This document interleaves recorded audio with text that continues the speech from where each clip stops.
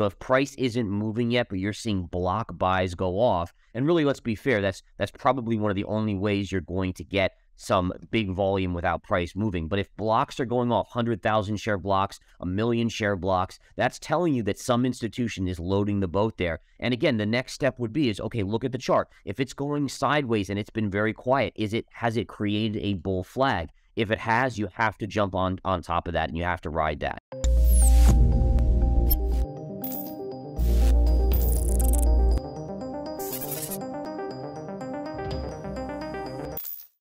Bitcoin fell prior to the February 3rd Wall Street Open as fresh United States economic data came in hot, hot, hot. The pair reacted negatively to U.S. unemployment data for January, which beat expectations so considerably that overall jobless figures fell to their lowest since 1969. Non farm payrolls data likewise outperformed, while average hourly earnings conformed to forecast 0.3% growth. Hello and welcome to Money Talks. In today's video, founder and chief market strategist at InTheMoneyStocks.com and verified crypto investing Gareth Soloway updates about Bitcoin's current market standing, the final bottom in crypto, and his outlook for Bitcoin in 2023. You know, one of the things that I noted was that the insanity around Bitcoin. In addition, another factor was I looked back at 2017's high, and one of the interesting things about 2017's high was that the high was made and it coexisted with the launch of the futures on Bitcoin. And sure enough, in 2021, in October, when we were talking, they were just launching the futures ETF on Bitcoin. And there was so much hype around this. It was going to change. All the average investors were going to be able to jump on board, even if they didn't have crypto accounts, to be able to trade the ETF. And obviously, that added to the hype. So, hype was number one. I was noticing it, it made me very uncomfortable. The same sort of hype that I saw in the late 90s, early 2000s when the dot com bubble was going to burst, the same hype we saw in housing in 2007 before it collapsed. So you when when you're through enough of these bubble and busts, you start to recognize the emotional attachment and exuberance, irrational exuberance to use Greenspan's term, of what's going on and that that is a warning sign in and of itself. So that's the first thing. I was I was on alert. The second thing is if we go to this chart, mm-hmm. notice how we made new highs from the early 2021 high, but there's something called the confirmation signal. This is something I, I teach in my course, the Winning Trader series. But look at how this high here, all right, notice how you closed above the high and then you reversed. And then you closed above the high here again. It tried to break out again and you never got a higher close. So the confirmation signal, I'm just going to give you guys a crash course in this. What basically you need to do, you have to have a close above the key, above the key pivot, which was this trend line, which you saw here and here, and then you need a secondary close at a higher high. Pivot, higher high here. Notice how that never happened over here. And to me, that was telling me institutions were dumping into it. If you think about how much irrational exuberance and buying there was from the retail crowd at these highs, this Bitcoin chart should have blown through that level if the if the institutions were not dumping into it. The long story short, without confirmation, it was not a true breakout, and in fact, it turned out to be a classic M pattern top, right? Double top M pattern top, which again in technical analysis, when you learn it, you start to pay very close attention to those type of pattern tops, especially when you have negative divergences. And let me just speak about this real quick. What's the negative divergence? The negative divergence was that in April of 2021, when you were at 65,000, you had hype. When you were at the same level at, at in price, you had basically double or triple the hype.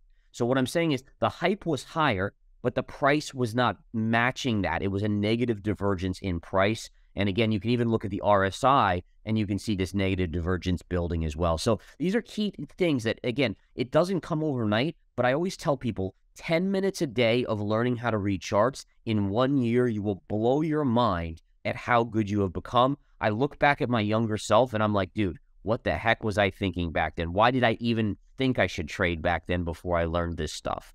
Bitcoin's cold feet came from the implication that a stronger than forecast labor market allows the Federal Reserve to maintain tighter, less liquid monetary conditions for a longer period of time. U.S. economy sliding into a recession? Well, think again. At least not in the near term, economist and analyst Jan Wustenfeld continued. Yeah. So, and, and, this is this is this is still something I struggle with today, and I think it's important to recognize is that no one ever just because I'm considered a master trader or a pro trader, it doesn't mean that I'm not continually trying to hone my skills and learn. And one of my biggest faults in my trading, and this is something I'm always actively trying to remedy, is that I see the big picture, and I'm good at that. And you guys that watch my interviews, you know that I can tell you, okay, this is the likely outcome. Yes, the inflation was not going to be transitory. The markets are going to do likely this. And generally, I'm correct. My timing is something that I'm still working on as a trader. A good example of this was, I believe it was last year in t- early 2022.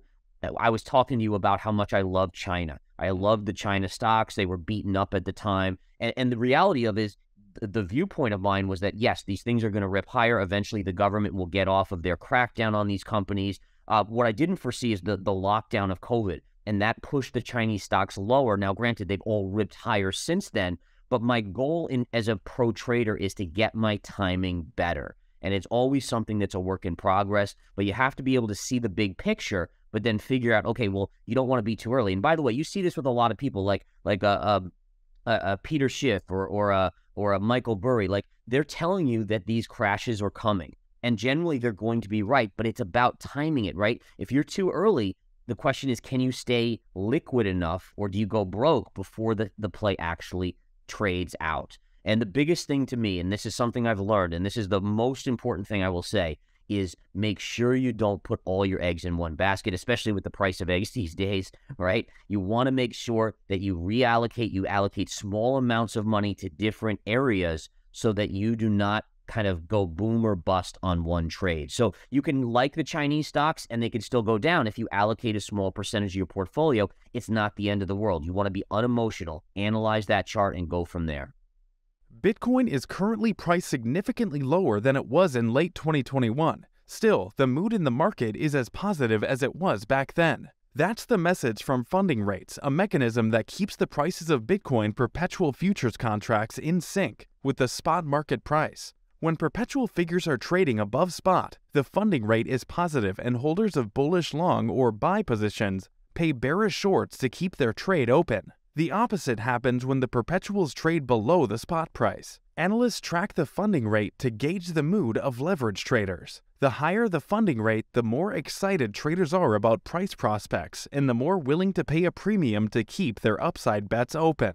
So the way I hedge, and this that's a great question. I mean, so the way I hedge is honestly by by limiting the amount that I'm putting in. So anytime you're investing, and this is this is something I did with the China trades as well, is that I'm investing a small percentage of the overall account, right? So that if that doesn't work out and it goes down, it's almost like you're hedging because you're still investing. Like you know, my biggest calls are gold and and you know some of these other things, and we started to see that really play out. In fact, gold in 2022 was probably the best safe haven you could have been in, eh, frankly. So so I think the key is to hedge. For me, I'm not a big person of buying like, you know, options to kind of offset the risk because if I'm right 80 or 70% of the time, then all that does is take away from my gains by paying for that hedge. The way I hedge is I just invest the proper amount, and proper asset allocation is the number one thing for investors, along with discipline. And in fact, they go hand in hand together. So, what are your thoughts about Gareth Soloway's prediction? Tell us in the comments. Also, don't forget to like and subscribe. See you soon with the next video. Thank you so much for watching.